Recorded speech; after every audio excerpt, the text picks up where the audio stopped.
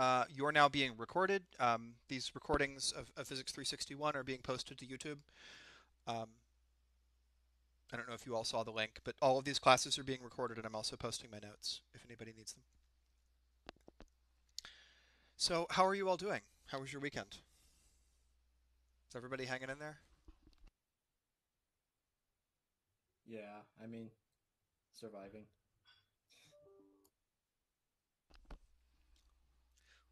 What uh, what's been the hardest part for you about all of this? Busy work. Who's giving you busy work? ROTC. ROTC. Oh, so you know, I remember. Uh, so I was in Air Force Junior ROTC in high school, and there was some joke about, uh, you know, like they had posted some people's names in the hall, and they said, okay. Um, you know, many of you have initialed by your name uh, to, to indicate that you've seen this. I want you to go and erase your initials and then initial your erasure. what? oh my gosh. Yeah. ROTC and some of the liberal arts core classes, well, most of them are, are giving out quite a lot of busy work. Mm, that's a shame.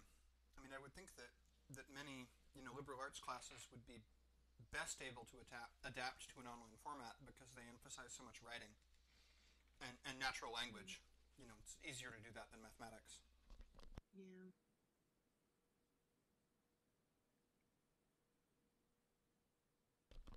How's everybody else doing?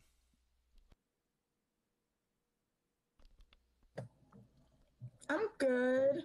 I think the hardest part is, is that um, there's the assumption that because we're all home, we have more time to get things done, where it's perfectly okay to assign more stuff than was on the syllabus. At least that's what I'm experiencing. I don't know about anyone else, so that that took a turn that I was not expecting. Oh no. Um.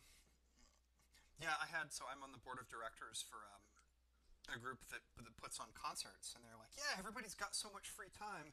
Let's have a board meeting at, at 3 p.m." And I'm like, "I'm teaching." I don't know who has free time, but it's certainly not me. Yeah. So speaking of, of workload in this class, um, you're you're supposed to have an exam on Thursday, right? Yes. Yes.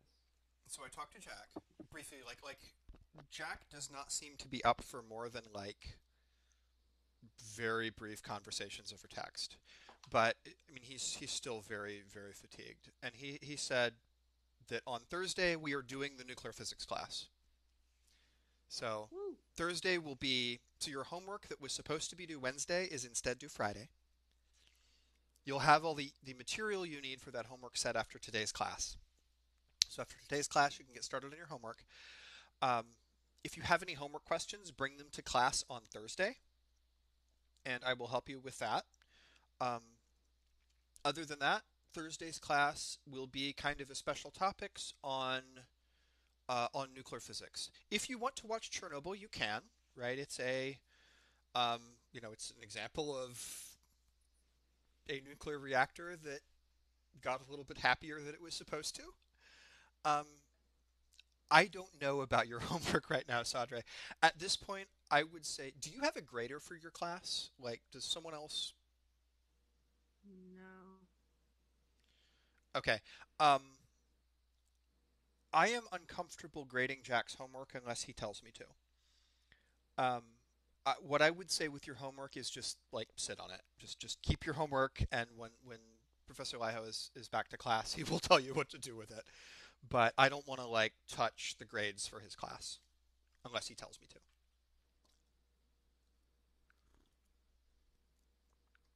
Um, yeah, oh, if you emailed it in, then yeah, just email it to him, and he'll do with it whatever he's going to do with it.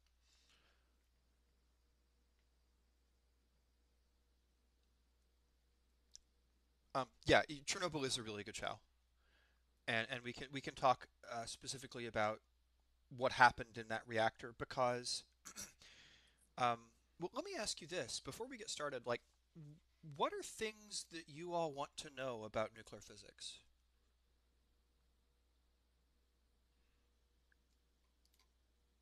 because if you have any stuff that I may need to go research, I'd like to do that before Thursday. So, okay, so we can talk about nuclear bombs. That's that's like a very exciting topic, and there's cool physics there.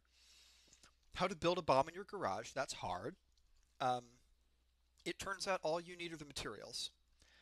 That I could build a nuclear bomb in my living room, given, um, you know, eight kilograms of plutonium 239. The trouble is getting eight kilograms of plutonium 239. Our FBI agents are not happy right now. Your FBI agents are well. That um, so there was a uh, one of our graduate students is Brazilian, Ohana Benavides, and she was asked as part of like some immigration process of coming to the U.S. Somebody asked her like, you know, do you know how a nuclear bomb works? And her response was, well, yeah, it's pretty simple. You want me to explain it to you? Because that's Ohana, and if you know her, that's how she is. And they're like, wait, what? But yeah, it, they're actually not very complicated machines. It's just producing the material that, that is needed to cause a nu- nuclear detonation is hard, and we'll talk about that. Uh, yeah, we can talk about fusion reactors too. That's super exciting. Um, that that may be, you know, in hundred years, the solution to our, our energy problems.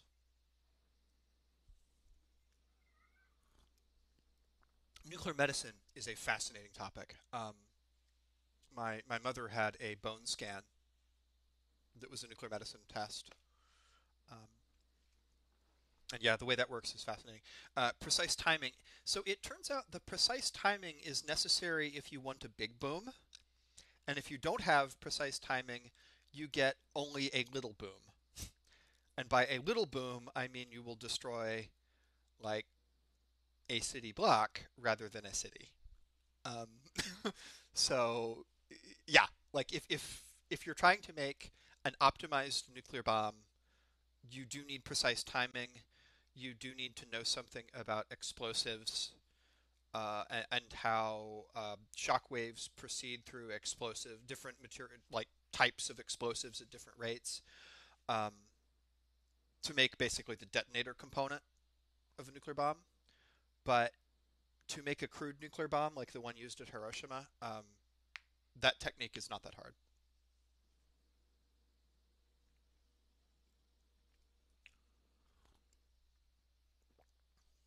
Anything else about nuclear physics people would like to talk about? So we have fusion reactors, um, nuclear bombs, nuclear medicine. How it directly relates to what we're learning right now, if it does. How it directly relates to what you're learning right now, if it does. Um, that's that's a really good point. Some of it does, um, but oddly enough, the and, and, there there is a question about nuclear medicine on your homework, um, that, that where you basically take the stuff from your homework and you use it to estimate the difference between some energy levels, and they never get to the point that that is that has a connection to nuclear medicine. Um, but oddly enough, most like nuclear reactor and nuclear bomb physics is surprisingly classical. Is surprisingly easy to understand with like physics 1 and physics 2. And some knowledge of heat, which, you know, if you have a machine that's that's producing 3 gigawatts of heat, uh, you had probably, if you guessed you needed thermodynamics to understand what happens when 3 gigawatts of heat is being produced, in an area the size of this room, then you'd be right.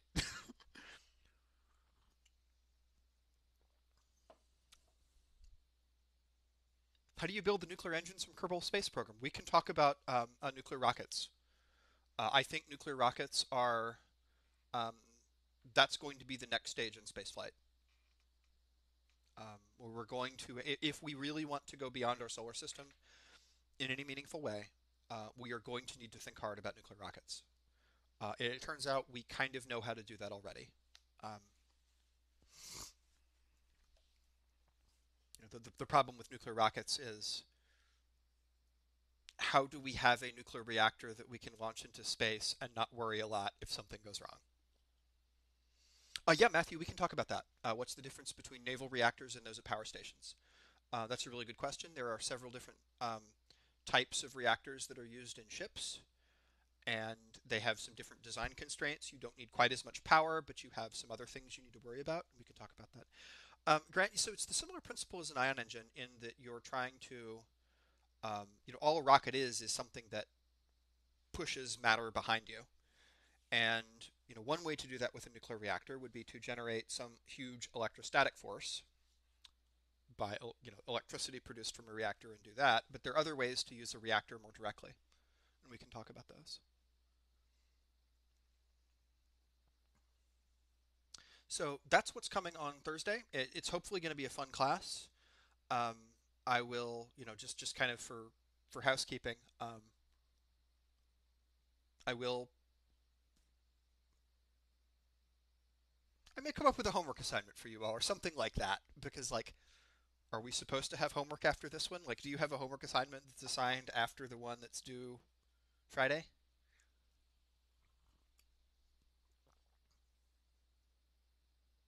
Or is this like the latest homework you've got? Okay. Then uh, unless I hear from Jack, I may write up like uh, some very short, you know, nuclear physics homework and give it to you all. So let's. Uh, well, does anybody have any other questions? Anything else that we should talk about before we dive into what we've been doing in 361?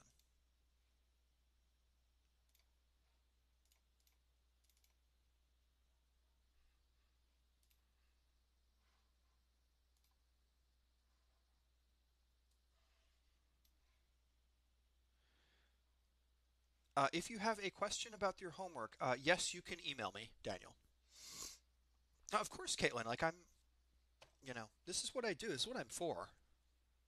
And when, uh, you know, I, I teaching people physics and, and helping physics students for me is something that I take more seriously than just a thing I get paid to do, right? So this is, you know, this is what I'm what I'm for.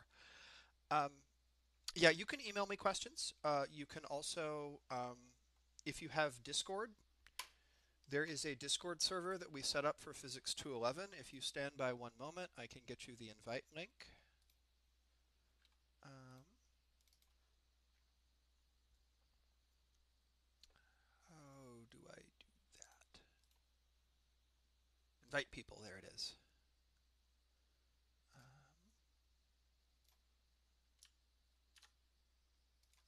So if you are a Discord user, you can join the Physics 211 Discord and poke me there.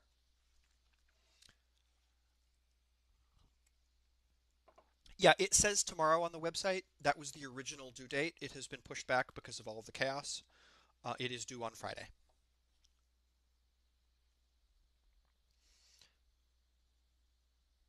Uh, one other thing about so so Professor Laiho, in addition to teaching Physics 361, is also the director of undergraduate studies and there are a couple of changes to the way advising has worked. I know we have some new majors in here.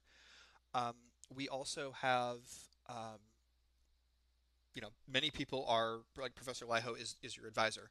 So if you have any advising questions for the fall, or or if Professor Laiho is your advisor, please feel free to contact me. I'm also an advisor for the physics department.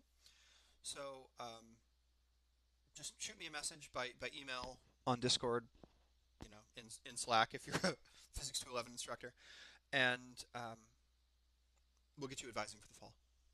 But I, I can take over some of that. You have a question about something in the text. Sure, Isa, what is it?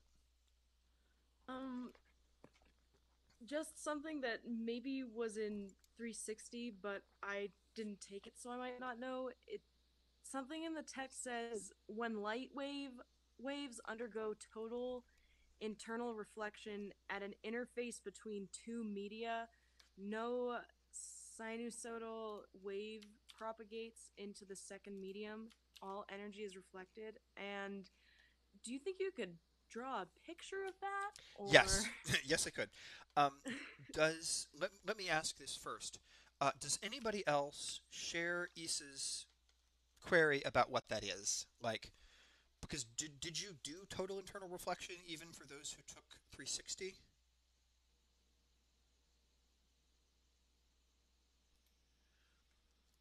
Other folks?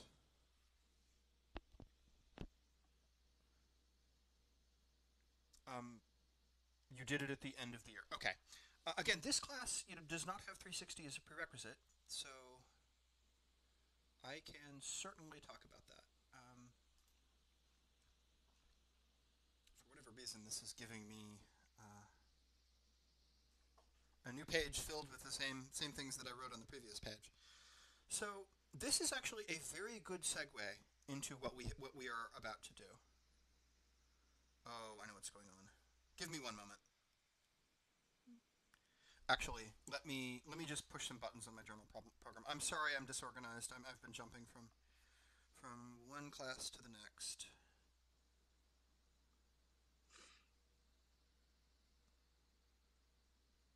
Yeah. Okay. I'm gonna we're gonna have to be here. Let's see.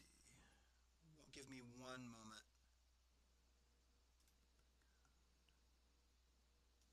There we are. All right, we're good now. okay, so here is, let, let me give a brief review of some optics stuff. And so suppose that you have uh, a boundary between two different materials. So, uh, in particular, imagine that you have a piece here of glass.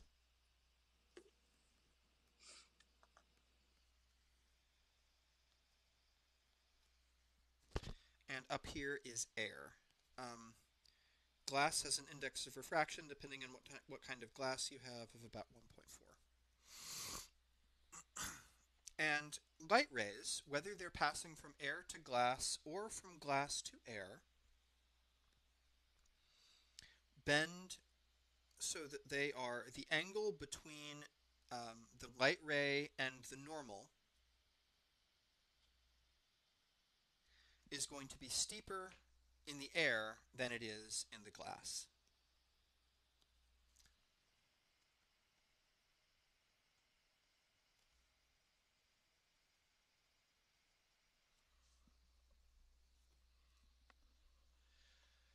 Um, so one way to to characterize the motion of these light rays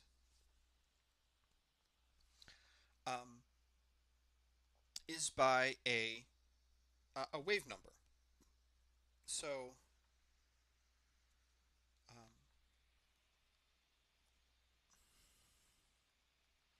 in any medium,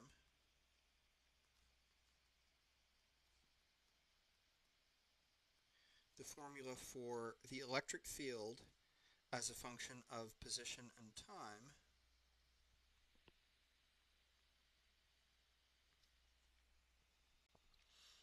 contains something that may look familiar.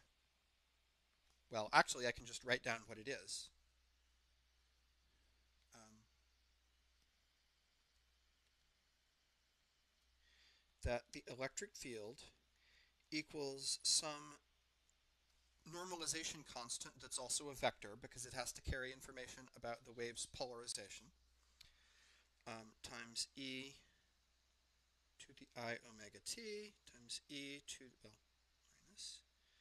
times e to the i wave number dot product position.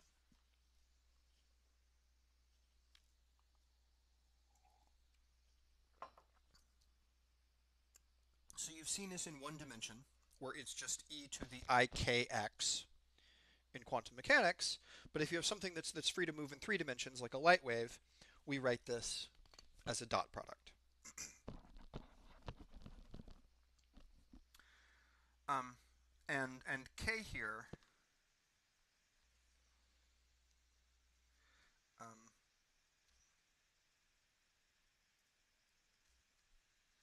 contains info about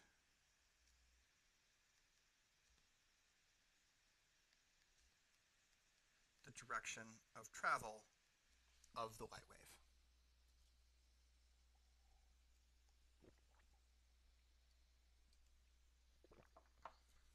So this looks like the plane wave you've studied so far, right?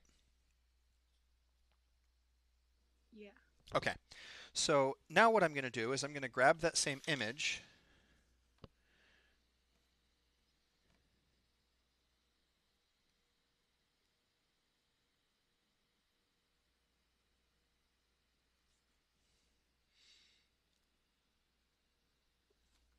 make a copy of it.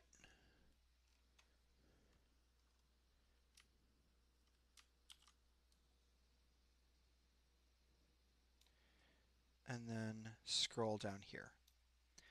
So if we have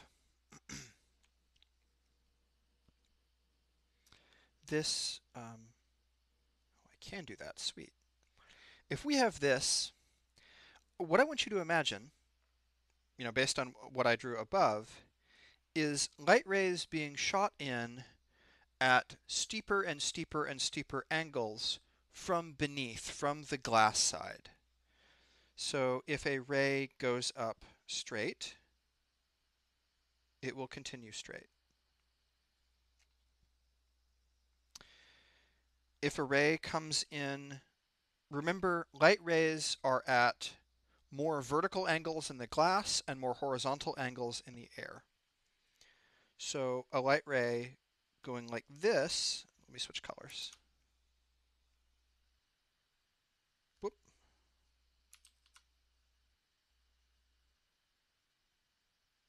This will bend here. Another light ray coming in at an even shallower angle will be bent very nearly horizontally. But then one like this, question mark, question mark, question mark, where does that light ray go? And it turns out for all of these, some piece of the light is also reflected back down into the glass. Some of it escapes into the air, and some of it is reflected back down into the glass. But for the orange one, and this is the, the new idea, all light is reflected, right? Because there's no way for it to be transmitted, right? It would have to be bent at some angle. When you do the math, you would discover that the um, you, you'd basically in, in figuring out the angle of the ray in air, you'd be in a situation, um, well, the formula Snell's law looks like this. Where in n here is the index of refraction. It's a number that tells you um, basically how much a certain material slows light down. And you might wind up with something like theta 1, the one in air, is the inverse sine of a number greater than 1, which you can't do, right? So when the question asks about total internal reflection, it's describing this phenomenon. Uh, Charles, do you have a question?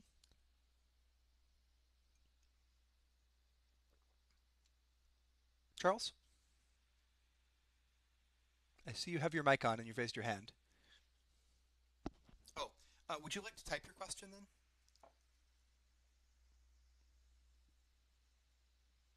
While Charles is typing his question, um, so Isa, was this the phenomenon that the homework problem was talking about? Yeah, um, it wasn't even in the homework. It was just something uh, in a paragraph that I didn't get. Mm. But that makes a lot more sense. So there's actually something that I want to continue along this line because it's actually an amazing, perfect segue into what we are talking about here. So here we're faced with this problem of imagining trig functions of like the inverse sine of a number greater than 1. So what is the sine? So suppose we have 1.2 equals sine theta. Are there any solutions to that equation?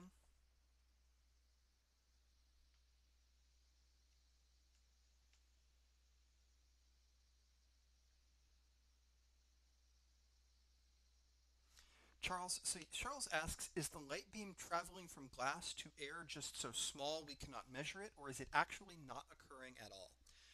um, it is not traveling any sort of meaningful distance. We'll actually see what I mean by that in a moment.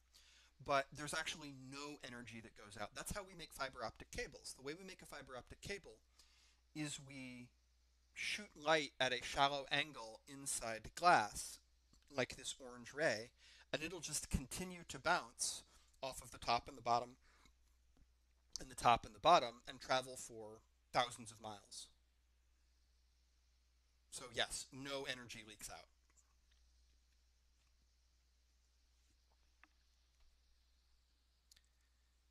Um, so Caitlin says that there are no solutions here. And that's true if you confine yourself to thinking about real angles. There are no real solutions. But there are imaginary ones.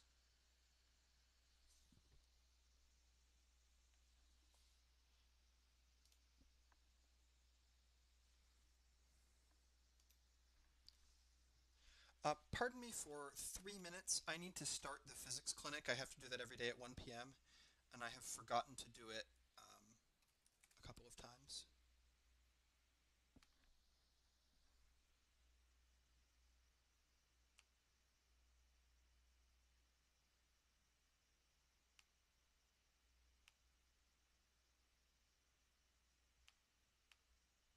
Virtual physics clinic is running on Zoom these days. And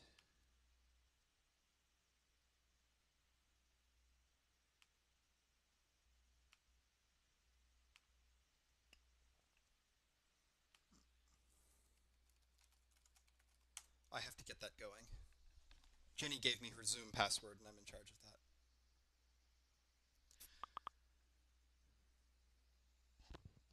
All right, so we're all good now. Um, sorry, I'm doing too many things.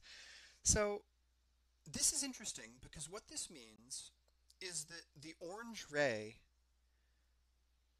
coming out of glass is traveling at an imaginary angle. And that means that other trig functions of that angle might be also imaginary. So if we consider this again,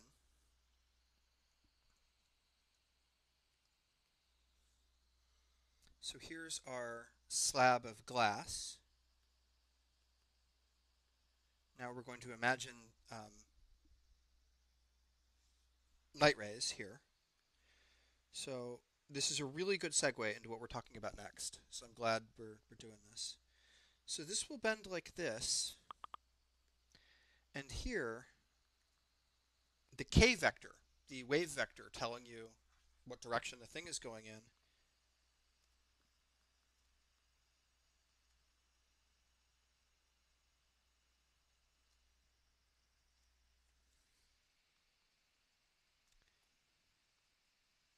k is real there. But if I imagine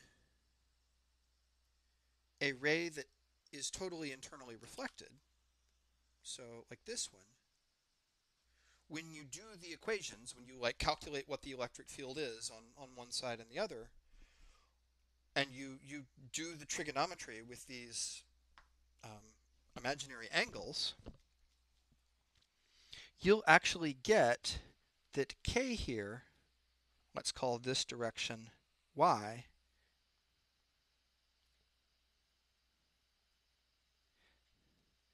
this has an imaginary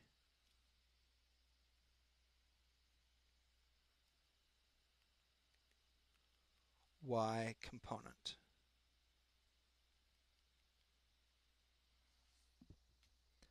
So what does that even mean for to have a, a vector with an imaginary y component?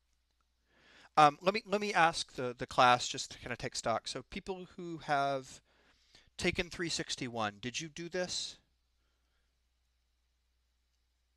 Am I saying things that the 361 crowd has, or the 360 crowd has already seen? Or is this new to everybody?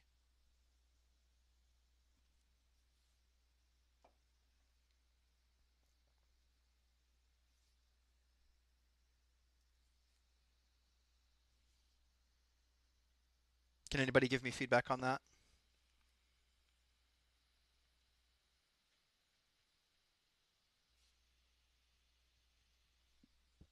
Didn't have 360. Okay. Um, K was a vector with exclusively real components. Yes. So what does it mean for it to have an imaginary y component? So that's a new one, right? So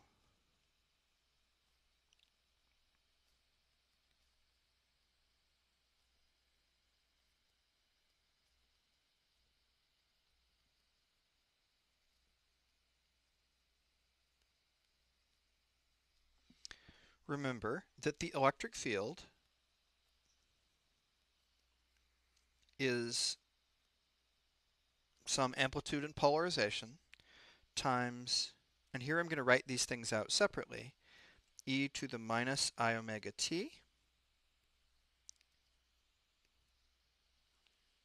e to the i kx times x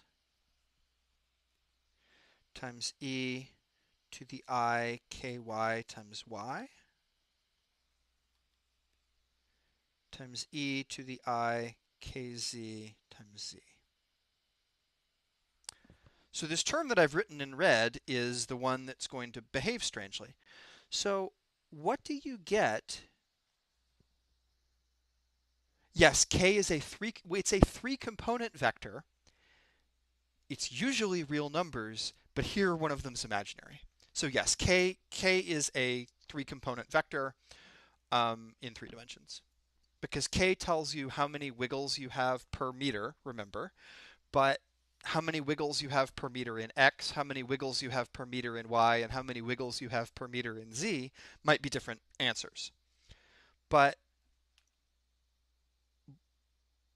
what does it mean if um, one of those is imaginary?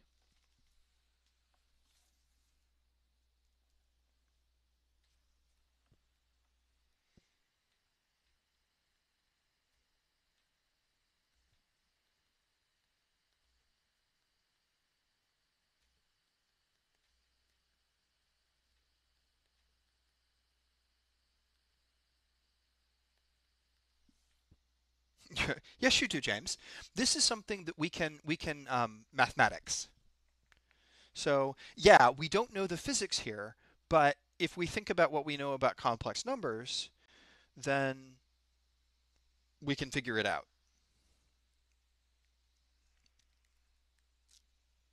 It depends on the sign of ky. Okay, so what happens, Matthew? Um, specifically, suppose ky equals kappa times i. Then e to the i ky times y equals e to the i multiplied by i kappa times y. And what is that going to do?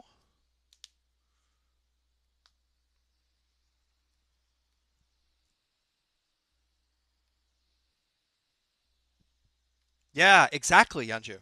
This is going to turn into e to the minus kappa y, which is a decaying exponential. So this is why you get total internal reflection, right?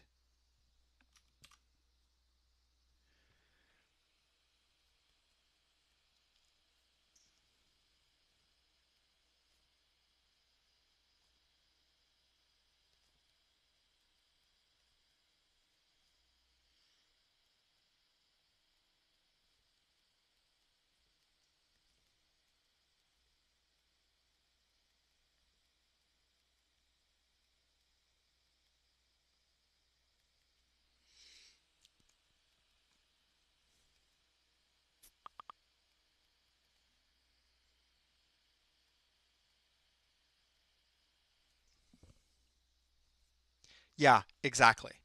So let me make a plot now. Um,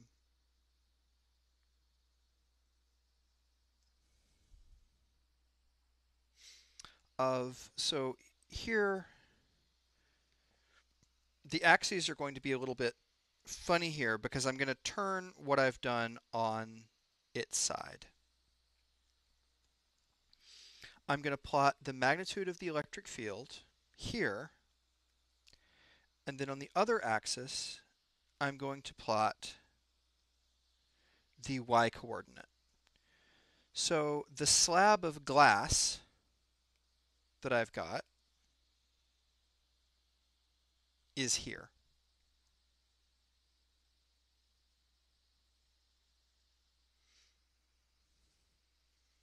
And actually, I think I want to actually going to make this a 2D plot. Uh, no, we won't do that.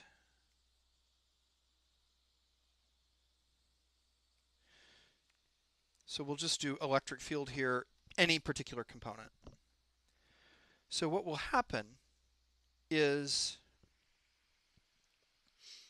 uh, you'll get something, this is one component. This will oscillate while it's in the medium.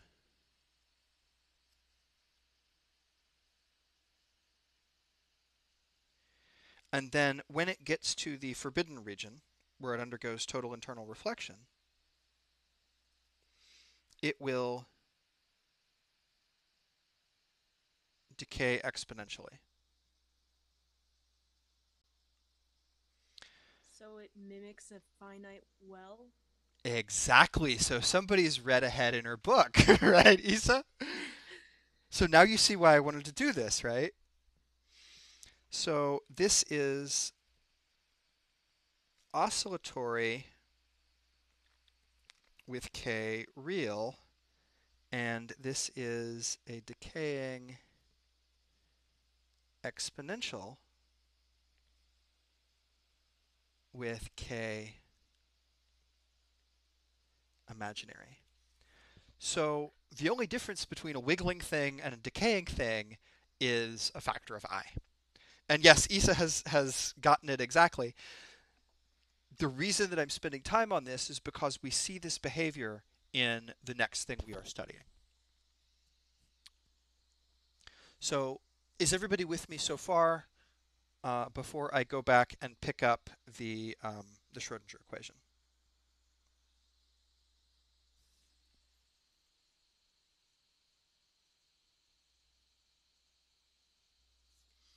Actually, I want to say one more thing about this.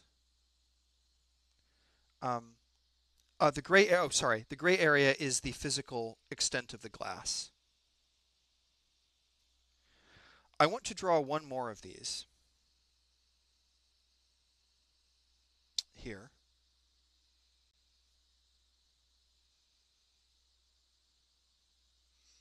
So there's the electric field. Here's Y. And now what I want to, to imagine is two pieces of glass put near each other.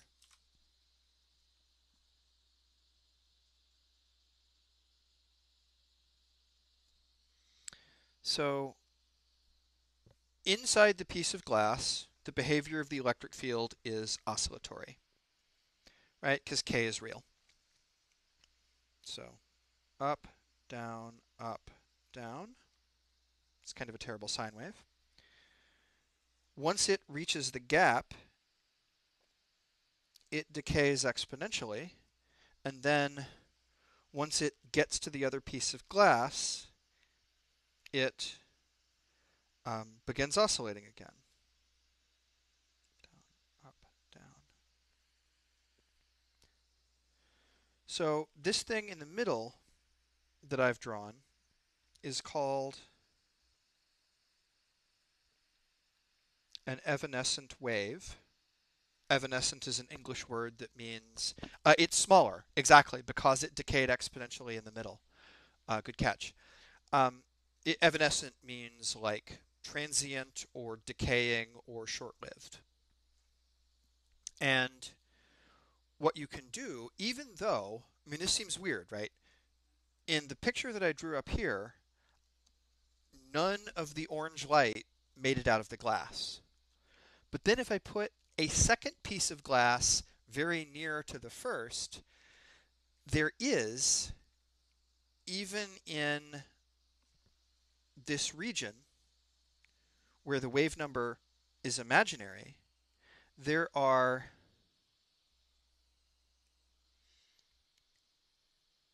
exponentially decaying electric fields that are getting weaker and weaker here. Even on the other side of the glass, that decay exponentially very rapidly. You know, the, the decay length is basically the wavelength of light. But if you put a second piece of glass there, you can pick them up. You can do other things with them. You can measure them. And this is a trick used by um, like very fancy imaging techniques. And Jenny Ross actually does stuff like this. So if you're interested in applications in physics of total internal reflection, go talk to Jenny Ross because she uses this to take some really fancy pictures of things. All right, so now let's apply this to the Schrodinger equation. So where we left le last left off, we had calculated the um, behavior of a particle trapped in an infinite square well. What we'd like to do now is calculate, well, we calculated the behavior of a particle in an infinite square well, and then we talked about this idea of classical turning points. The idea that if I have an oscillating system that, depending on how much energy it has, it will never penetrate into regions where its potential energy is greater than its total energy. And we talked about um, you know, comparison of classical and quantum behavior, and we saw that in the quantum world, particles can tunnel past the classical turning points. Might seem familiar to what we just did, right? A particle being able to penetrate a short distance into a region where it's not supposed to be. We reminded ourselves that for a free particle, a free particle um, there's a relationship between its wave number and its energy. Right? And then we said, ah, but now if we have a potential, and that potential is constant, I can move it over to the other side, and my energy now looks like total energy minus potential. And we identified this here as a kinetic energy. And if the potential is greater than the total energy, then that just means kinetic energy is negative. And you might say, er, kinetic energy being negative, that doesn't make any sense. It's 1 half mv squared. And then you say, well, wait a minute, if v is imaginary, I can have a uh, negative kinetic energy, right? And we got this expression down here, which I'm going to highlight in a big old box for the wave number if energy is less than potential energy. So, you know how we were just like spending a long time talking about negative wave numbers? Here we go. So, we talked about this now. That page shouldn't be there. Control delete. Um, now what I want to do is apply this to a new situation. So here, doop. I'm just going to draw some axes.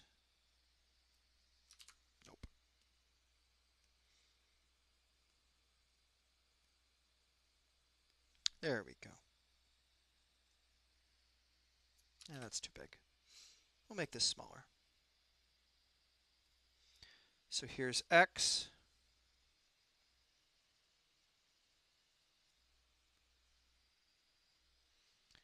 v of x, and we're going to imagine a potential that looks like this.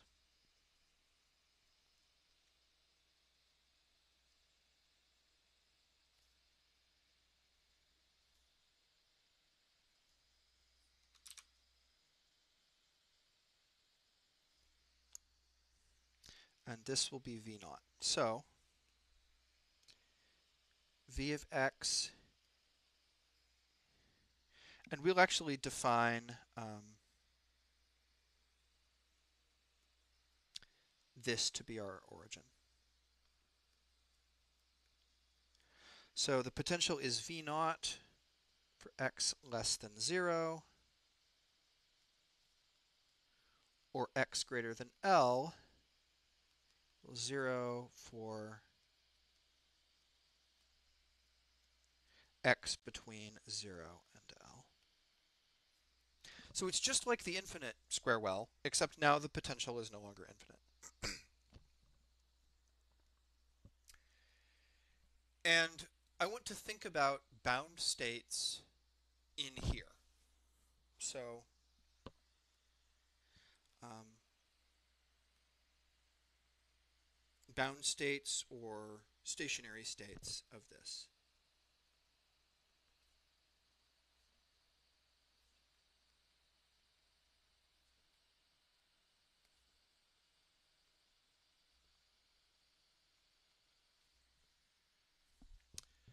So, um, what is a physical example of energy wells? So that is that is a good question. Um, an example that that people actually sometimes use, and this there's one in your homework. So yes, energy an electron cloud in a let me make a new page just to doodle on for scratch. So for a hydrogen atom,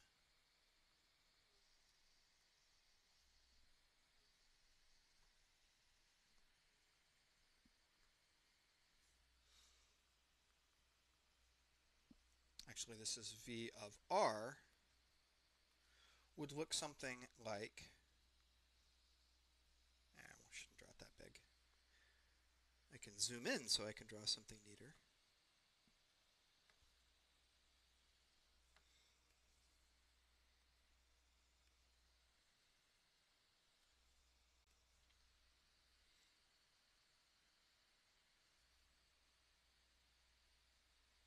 Looks like this with the nucleus at the middle. So this is not the same function that we have here. But, but it, it is a physical example of an energy well. But another example is actually in nuclear physics. Um, one way of thinking of um, nuclear decay, for instance, is that you have an atomic nucleus with um, so the atomic nucleus, uh, think of like hundreds of protons and neutrons within um, another collection of four protons and neutrons moving around in them. So that's a hydrogen atom, but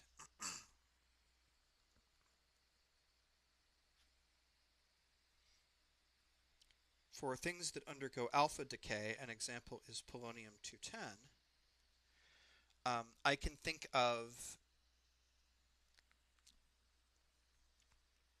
something broadly like this, where,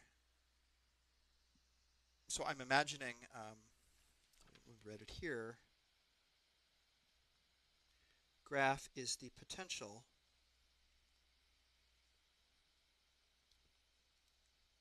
seen by a cluster of two neutrons plus two protons. Um, this is a helium nucleus, also called an alpha particle, inside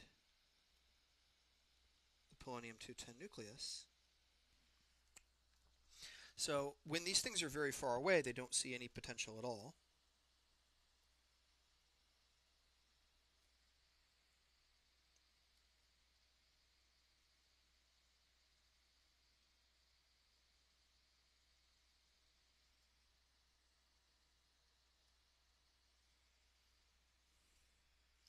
Actually. Yes, when they're very far away, they don't see any potential at all. When they are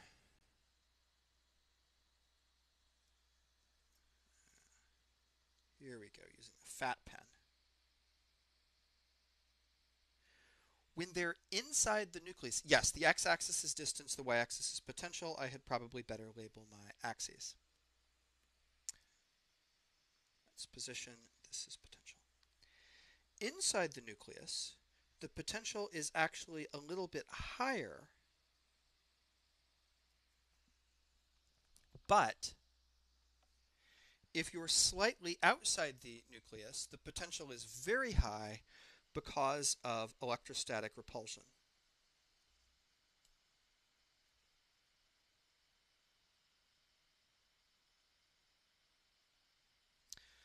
So this is kind of a weird situation, right? And one way of thinking about um, how the alpha decay of this nucleus works is you have an alpha particle that's trapped in some stationary state oscillating inside this potential, right? So it's you know oscillatory in here. It decays outside and it wiggles back and forth here, right? And but since there is, you know, it can go into the classically forbidden region, um, there's some small leakage of probability amplitude outside this potential well out into this region. So there's some small overlap of the stationary state of the alpha particle with the outside world, which means over some, some amount of time, it will eventually leak out. And that cluster of four pro- or two protons and two neutrons will escape from the polonium nucleus uh, and turn it into some other kind of atom. So that's an example. Um, and these are all like quantum examples.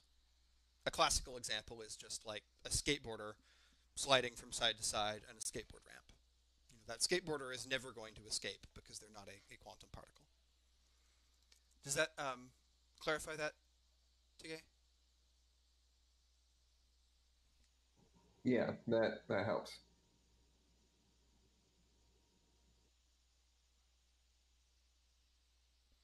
Okay. Sorry, I just got a text message from uh, a very old friend. We adopted a cat together 16 years ago, and she just texted me to say that they're going to have to amputate one of his legs. So, that's not good news. Anywho. Sorry, I've got to watch all my text stuff because the students are taking an exam in, in 212 and there may be some catastrophe that happens. So let's figure out the stationary states of this infinite potential well. So what we know, going back to the Schrodinger equation,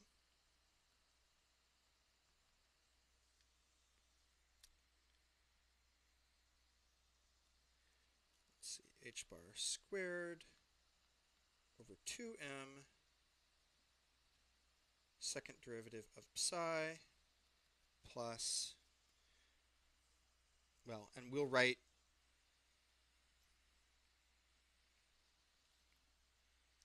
actually the potential term over here u of x psi of x plus e of x psi e psi. I think I may have a minus sign off. Let me check.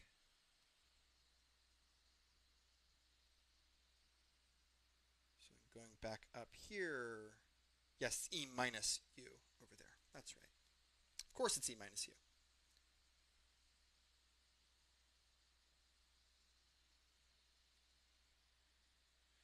So this is e minus u of x times psi of x. So the problem here is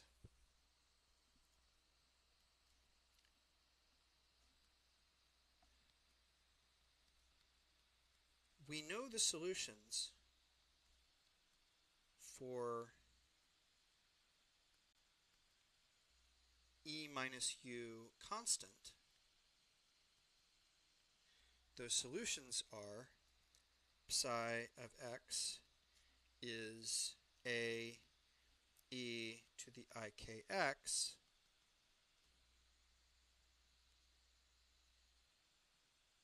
with k equals square root 2e m e minus u over h bar and note that this is oscillatory if E greater than U and K real. It's uh, an exponential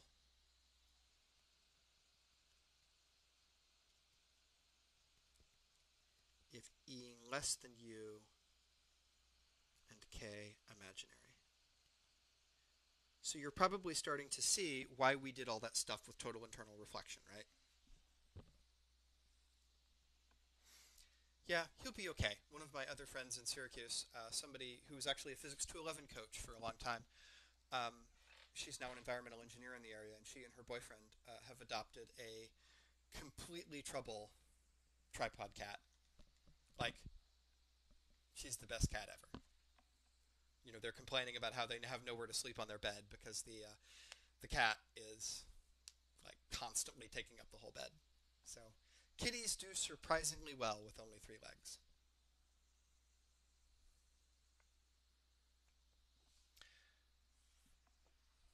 Just kind of write with a sidebar here. So what we want to do is we know the solution in regions where the potential is constant.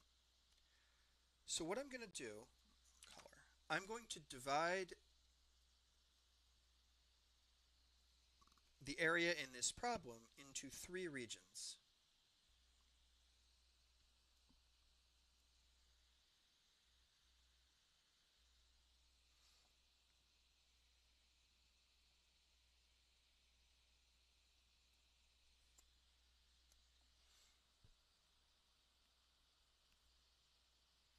Uh, we'll call them A. Uh, it's not the best idea. We'll call it 1, region 2, and region 3. So in this problem,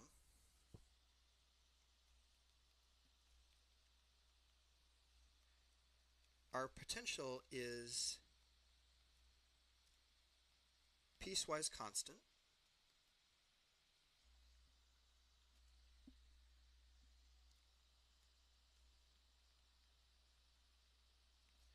Our solution will be piecewise um,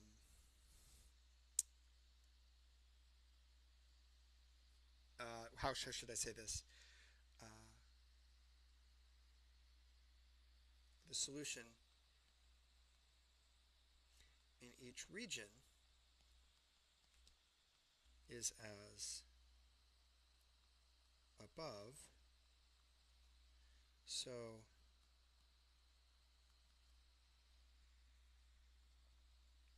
we're going to make the overall solution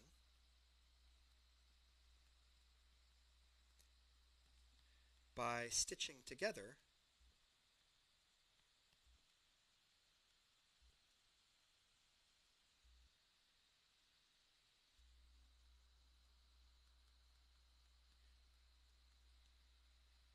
copies of the above. Um, as one note, so I can have waves that travel. So this plane wave that I have written up here, um, so as a note, e to the ikx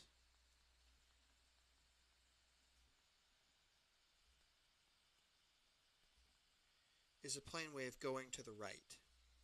So, the real solution, I shouldn't say real, that implies something about, you know, not complex, but the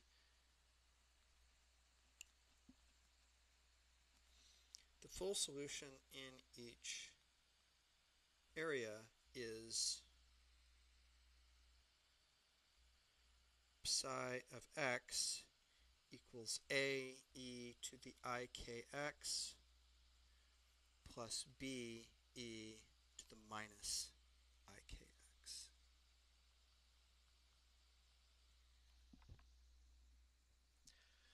So all I'm going to do now is I'm going to um, write down formulas in each region and then figure out what A and B are in each region to match the boundary conditions.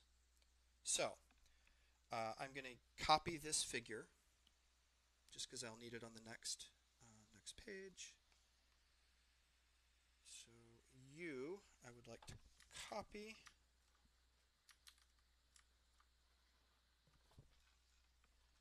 And paste. Arg. Sorry. Copy and paste. There we go.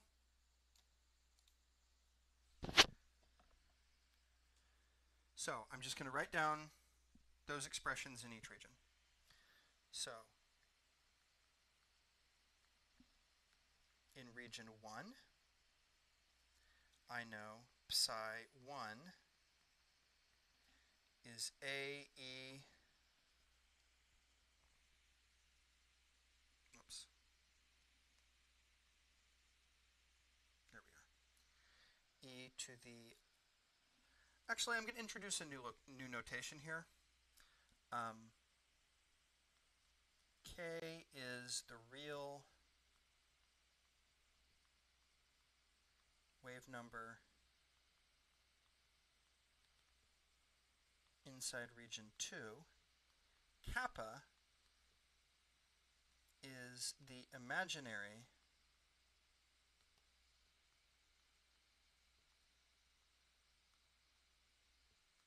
number in regions 1 and 3.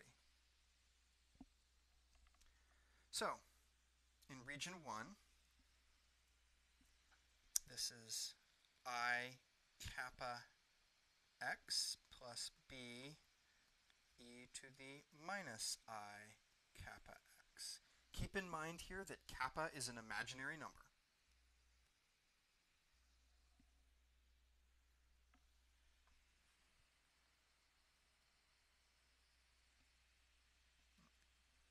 color code these.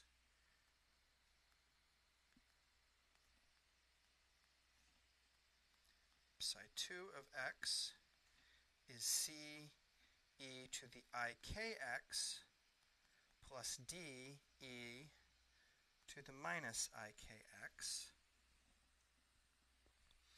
And then finally in region 3,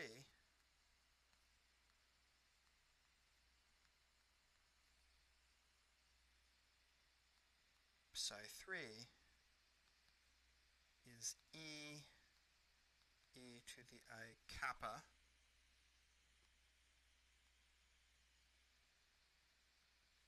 x plus f e to the minus i kappa x. So now we've got six unknown constants.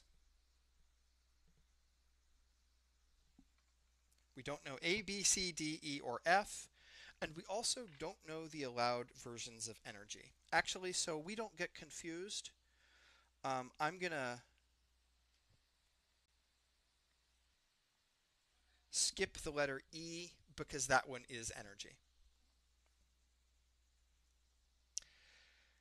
And now what we need to do is apply the boundary conditions.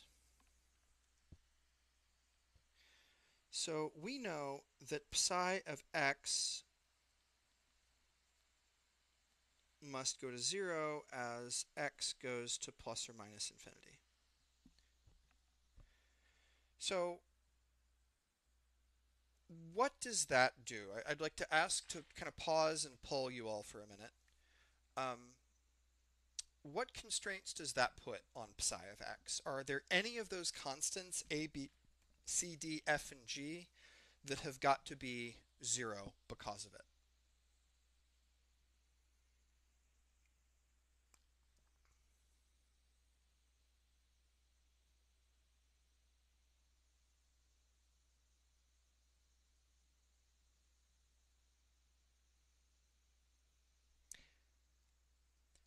So D here just governs um, region 2. So in region 2, these are just the, the oscillatory behaviors in region 2. They don't touch plus and minus infinity. Uh, Matthew has said that B and um, F have got to vanish. Yeah, because if, if actually you're off by a minus sign, um, Matthew. So let me actually redo this in a way that makes something clearer.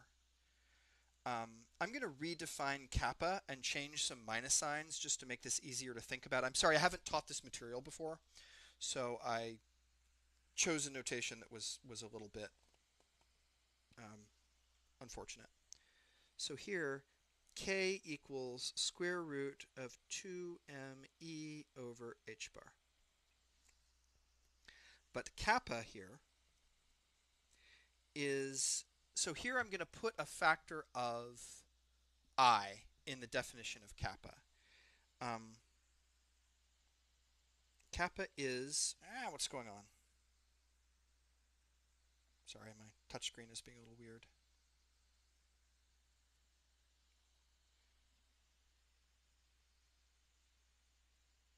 Kappa is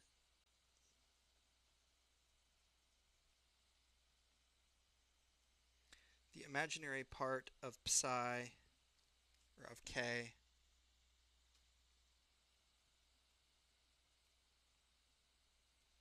Outside the well and we're going to define it as kappa equals um, the square root of 2m v naught minus e over h bar. This way, kappa is a real coefficient. And that way, yeah, exactly, Matthew, because because you know we messed up like like canceling factors of i. So that way, uh, now um, these factors of i that I had written are not there.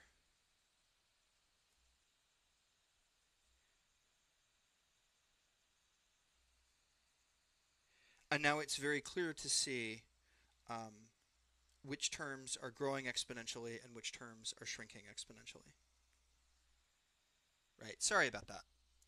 Should it be h bar squared? Did I drop an, h bar square again? It, it's kind of, so in, yeah. So in the units that uh, particle physicists prefer to use, h bar is just 1. So it's not uncommon for those of us who are or have been particle physicists who are teaching this to mess up factors of h bar. Thank you. So anyway, fixing all of my mistakes. Thank you, Yanju. Thank you, Eva. Um, in region 1, we know that psi has got to grow exponentially right? Because it cannot blow up as we go to infinity. So that means that that has got to be 0. And likewise in region 3, this has got to decay exponentially as we leave the region where I'm classically allowed to be. So that means that f has got to be 0 in the like the new way I have defined my things. Um, yeah, it would be A and G in my original notation, Matthew, but but since I changed my notation of what kappa means, um, those are the ones who cancel. So I've gotten two of them out of the way. But the next thing that I have to do, and we may actually pick this up on Thursday. I'm a little bit behind where I, I was planning on being, which is fine because um, we did the total internal reflection stuff. This means that we also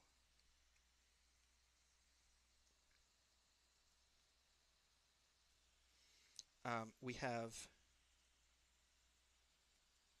five more constraints.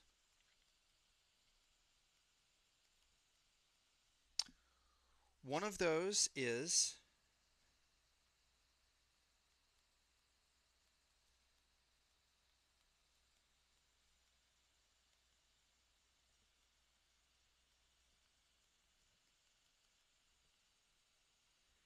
the continuity condition for the derivative of psi. That gives us two constraints. The second one is that um, psi itself must be continuous at the boundaries. And the last one is normalization.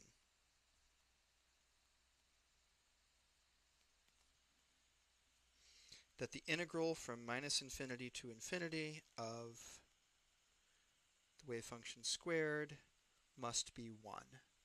So notice that I've got five constraints and only four unknowns. So what does that mean if I have this thing being over constrained? Um, five constraints and four equations, what happens?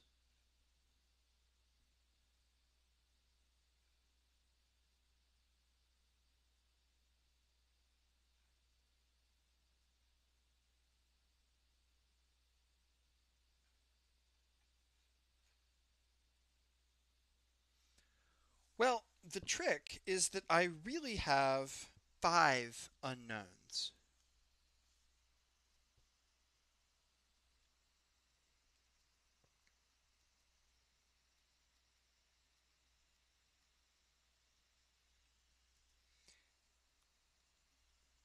So I've crossed out B and F, A, C, D, G are the coefficients and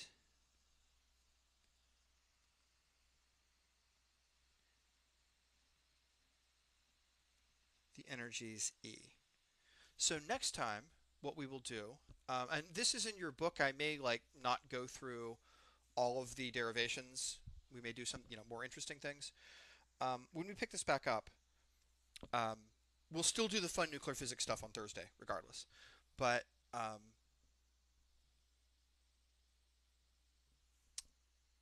you can solve this for the coefficients and also get a formula that tells you what energies are allowed. Because you know, if I've got I've got five constraints, I can constrain five different things. Um, it turns out that there is no way to um, to like write down a formula for the allowed energies, right? But um, you can get a, a, basically an equation and say the allowed energies are the ones that solve it. Uh, I just looked at some notes. Um, it's like it's disgusting enough that I don't even want to write it down actually, but uh, it's in your book. Are there any other questions for me uh, at the end of class? I do want to do a little more algebra on this next time.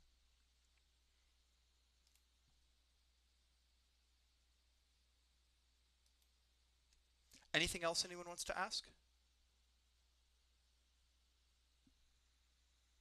Did this broadly make sense in what we were doing here? This idea, because this this is this approach of like I have a potential that is piecewise continuous. Um, I'm going to have wave functions that are exponentially growing and decaying in classically forbidden regions, and then inside this I'm going to have oscillatory things. Like that is, you'll see that again and again and again. So this is kind of a prototype of problems you'll see a lot of cases of. All right, I will see you all on Thursday. What's the red line? Uh, the red line is psi of x. Yeah, thank you, James. Um, I'll hang around for a few minutes if anybody has any questions. I'm going to end the recording here.